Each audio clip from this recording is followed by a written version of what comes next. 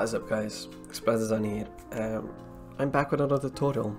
So I asked you guys on the 500 subscribe special what you want to see and a logo, one of the most asked things in the comments so that's why I'm here with the logo. I'm not as uh, so good at logos, you'll see that but I think this um, this is a clean simplistic logo. Uh, this is going to be in Illustrator but after that we're going to be in Photoshop to do the final touches on the logo. So the first thing I, I do with this, I, I did with this logo, we go to Google Translate. There you go, Google Translate. Go to direct language to uh, Japanese because we're going to do a Japanese kind of style. Type something random in like epic or something, I don't know. But I just, uh, I've taken this. I think this is a, a nice Japanese uh, text or kanji or whatever it is. I don't know what it is. But you can do uh, anything if you just type that uh, japanese text in the thing because this is i think this is this looks nice and we're just gonna make it extra nice. So what we wanted to do is just make a rectangle. Not too small not too big. For the top one and we're gonna just turn that around. I'm going to make that a bit smaller because it's the top one you know. Gonna copy that gonna turn that around. I'm gonna make that a bit bigger. You don't even have to hold shift or anything with this you just make it you just go at the edge and just make it bigger. That is that, that is illustrator i'm not so good at illustrator to copy things just control c control v. No control j because this program doesn't doesn't do that. And the thing is i am not going to make this curve. I'm just going to make i'm just going to copy the middle one and then du duplicate that again. And just going to turn that around like uh like this. Probably thinking what the fuck is that? But just just go with it Maybe I turn them a bit more around. Maybe a bit more. Just, uh, I'm going to um, transform him and I'm going to reflect him 90 degrees. There you go. I'm going to put another line in the middle of this to know where I where I'm putting this. There you go. And at the same place. There you go. Uh, I'm going to make this a bit bigger now. Going to put a line there as well to make sure they're the same size. There you go. So the thing is what we do now is we go to over to our rectangles and we click on the first one and we make everything we need every corner we we curve it or we make it a little bit we smooth edges you know we don't put it at there because that looks a bit weird. We just put it um, at two millimeters. Two, let me see. Yeah, about two. I do that with every every rectangle. Put it at two millimeters. There you go. This one as well. Put it up on two. 2 there you go and you have everything smoothed out so now what we want to do i don't want to be i don't want to be everything i don't want everything to be smooth. So you double click on one little circle and you just click it outwards. So it's not smooth anymore.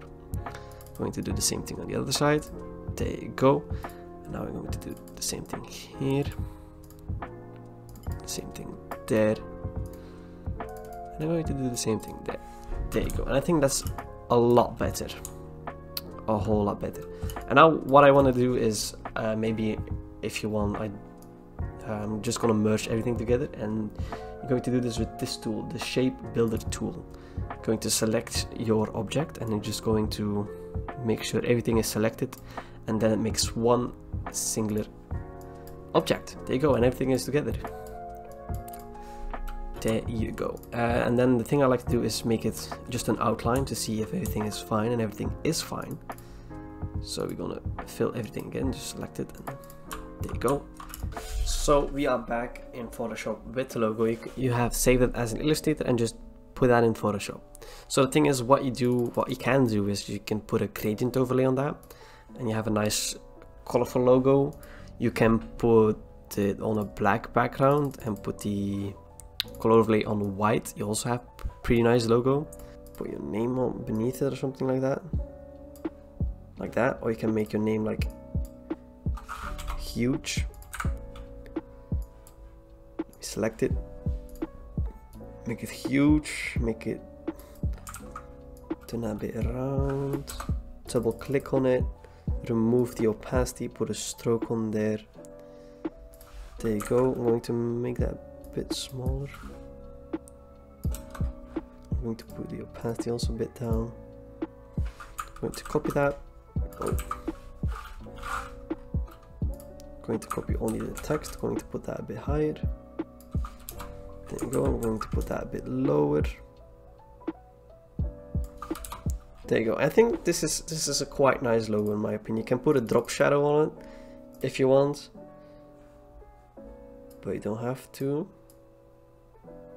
Drop shadow. It's quite nice. We can put some light spots on it as well. There you go, that has a nice light from above. To make that a bit bigger, put the opacity a bit down. There you go, now I have a nice light spot as well.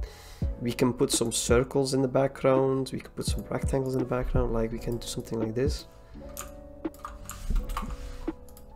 You like that, you don't have to though, you don't have to, you don't have to. But if you think this fits, this fits. Put the opacity all the way down as well. There you go. And you have a quite nice logo in my opinion. You can put another background on it, like you can you can do whatever. You can really do whatever. You can put on everything another gradient. Another gradient map.